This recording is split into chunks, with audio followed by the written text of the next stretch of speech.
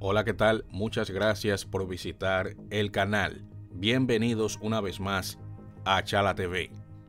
Bueno, señores, la gente no está muy convencida de las declaraciones de la ex manager de Cancerbero, donde ésta declaró ser la culpable por la muerte del popular rapero.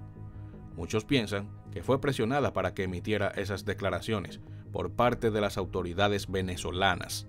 Claudia Améstica, hija de Guillermo Améstica y sobrina de Natalia Améstica, acusados por los asesinatos de Carlos Molnar y el rapero Cancerbero, rechazó las declaraciones del fiscal general Tarek William Saab.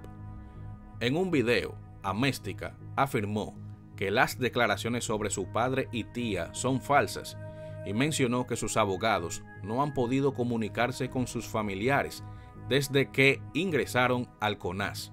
Señor fiscal, usted sabe que esas declaraciones que usted sacó, tanto de mi tía como de mi papá, son falsas. Usted lo sabe, dice en el video la joven. La hija de la confesa asesina de Cancerbero denunció que sus abogados no han podido tener acceso a los expedientes y calificó las declaraciones del fiscal como un show mediático y viciado. Buenas tardes. Mi nombre es Claudia Méstica, hija de Guillermo Méstica, sobrina de Natalia Méstica. Me dirijo por este medio para rechazar contundentemente las declaraciones dadas por el fiscal el día de hoy.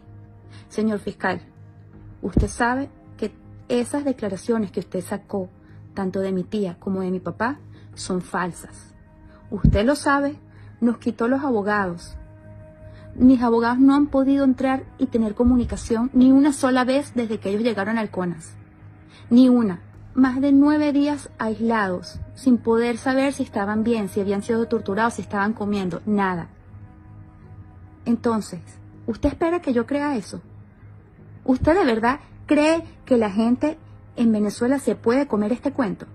No nos vamos a seguir prestando para su show mediático.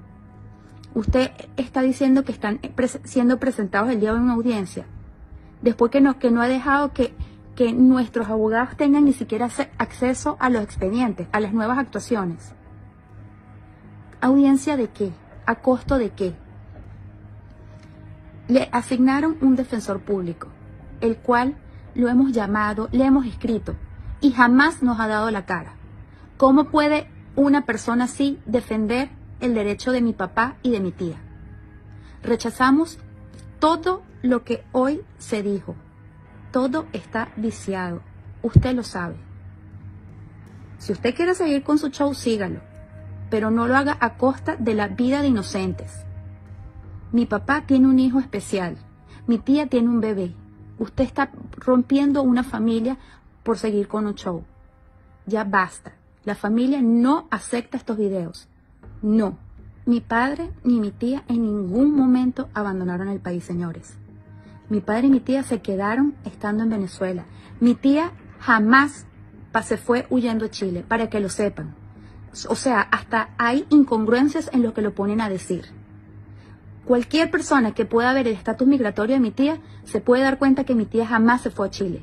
Si nosotros no decidimos ser públicos durante este tiempo, no fue por miedo, señores. La cantidad de amenazas que como familia hemos recibido por parte de los fanáticos de este señor ha sido gigantesca. Nosotros no tenemos nada que ocultar y ya basta. Por esa razón, mi papá y mi tía se presentaron desde el primer día en fiscalía porque si ustedes querían investigar, investiguen. Pero no se presten, por favor, a este show. Ya basta. Bueno, señores, ¿y qué piensan ustedes sobre este caso de estos supuestos asesinos de Cancerbero? Para mí todavía le faltan piezas a este rompecabezas. ¿Y usted qué piensa? Recuerda que como siempre, puedes dejar tu importante y valiosa opinión en la caja de los comentarios. De mi parte, nos vemos hasta un próximo video. Hasta luego y muchas bendiciones para todos.